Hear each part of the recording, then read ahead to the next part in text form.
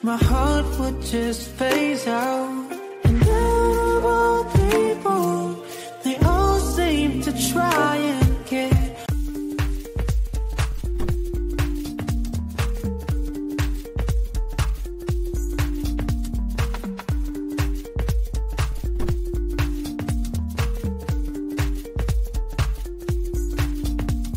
Wow, nakita mo talaga yung transformation ni Rabia from katawan, improvement niya from the gym, yung training niya, up until yung parasela niya. Grabe yung transformation.